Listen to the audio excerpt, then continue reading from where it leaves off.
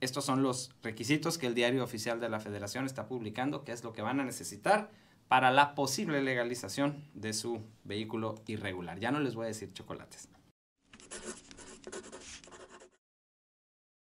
Y en el tema de los autos chocolates, el artículo 3 del decreto incluye a Sinaloa en esta, pues en esta fiesta de chocolates y va a percibir un ingreso bruto de 2.500 pesos por cada vehículo que regularice. Esto no sé, la verdad es que no estoy enterado si esto ya les incluye las placas y el engomado o, esto es aparte, los 2.500 pesos son nada más por, por, por regularizarlo, está bien. Y otra cosa, no es que esté en contra de los vehículos chocolates, yo estoy a favor de la economía de las familias mexicanas y las familias que menos tienen. Siempre he dicho que un carro chocolate es más caro que un carro nacional legalizado, porque, hablando en marcas otra vez, una Cherokee chueca te cuesta 150 y tantos mil pesos y un Vento, un Matiz, un March o un carrito de estos ya nacionales te cuestan 80 o 90 mil pesos. La profesora Elizabeth insiste que no. No sé si ella ya fue a preguntar. Yo aquí tengo las cotizaciones. Entonces, eh, pues eso es. Muchas felicidades al Estado de Sinaloa por haber sido incluido en este decreto. Pero aprovechando este espacio, aquí viene en el, en el diario oficial de la Federación lo que les van a pedir a los dueños de estos vehículos para regularizarlos. Si me permites, lo voy a anunciar para que si no tienen estos papeles o les hace falta algo, lo vayan eh, consiguiendo.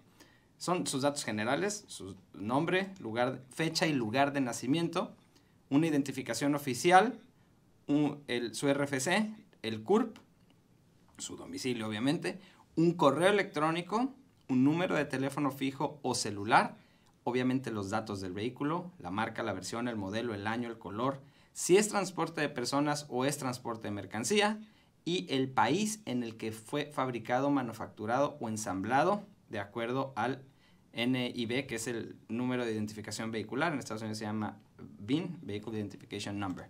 Ahora, eh, el carro, por lo que dice aquí, solamente pudo haber sido manufacturado o ensamblado en México, Estados Unidos o Canadá. No sé qué pasa si el carro fue ensamblado en Japón, por ejemplo, si es un carro japonés o es un carro alemán, no sé qué vaya a pasar con ellos porque aquí no están incluidos. Y luego dice, documento con el que acreditas la propiedad del vehículo, porque por más chocolate que esté, pues tienes que tener, aunque sea una facturita. Tipo de documento, número de folio, fecha, emitido por, a favor de y endosado por, a favor de, con tal fecha. Y necesitan tener muy clara el ingreso a territorio nacional, en qué fecha fue y cómo es que este vehículo llegó, si fue por importación temporal o sin impedimento de importación. Eh, la importación temporal es de es una cosa que te dan en unas casetitas del Banco del Ejército.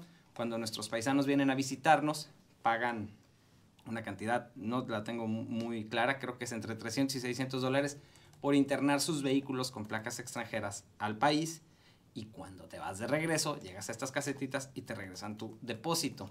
Pero muchos paisanos dejan aquí los carros y, ya no los regresan. Entonces, tienen que tener muy claro cómo es que este vehículo ingresó al país. Y ya, si tienen todo esto, ah, y muy importante, la entidad federativa en la que circula, es decir, el carro a lo mejor lo legalizaste en Sinaloa, pero en realidad lo vas a poner a circular en Jalisco.